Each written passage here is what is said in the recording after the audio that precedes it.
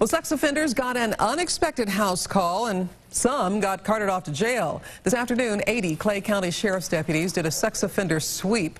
They went door to door checking homes of nearly 250 sex offenders. Deputies made sure that addresses and phone numbers registered with the state were correct. We're finding uh, information that is, has not been correct or um, has not been issued to, or given to us uh, per state law. The sheriff's deputies made several arrests. Four people were taken to jail for cybercrime violations. The sex offender sweep is a one-day event, but deputies are planning more sweeps this year.